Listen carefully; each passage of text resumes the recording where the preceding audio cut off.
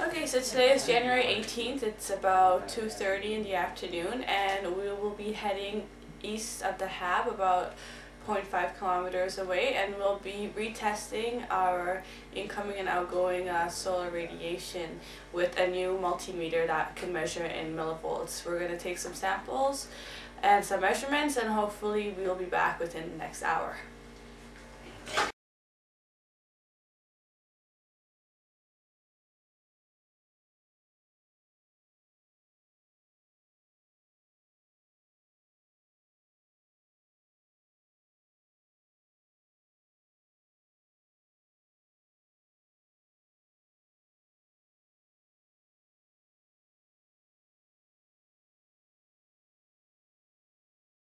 We just got back from our 25th EVA to go take some albedo measurements.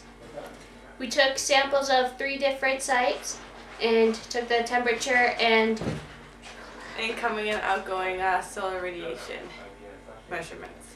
We also picked up one of the previous dust collectors that I had planted and unfortunately the experiment wasn't very successful but we've learned a lot for next time.